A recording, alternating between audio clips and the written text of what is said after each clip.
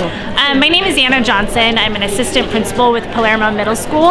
Um, my entire family is from Paradise, both my husband and myself.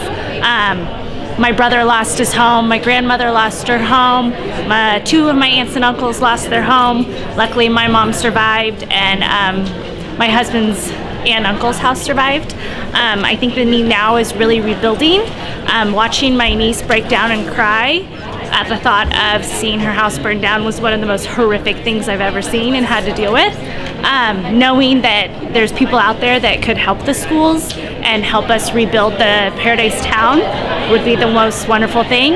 Um, we need Chromebooks, we need supplies, we need teachers to not only get their homes back, but they need their classroom homes, and we need that with a lot of people's support. So please help Paradise, Butte County, Concow, and all the neighboring communities. Thank you.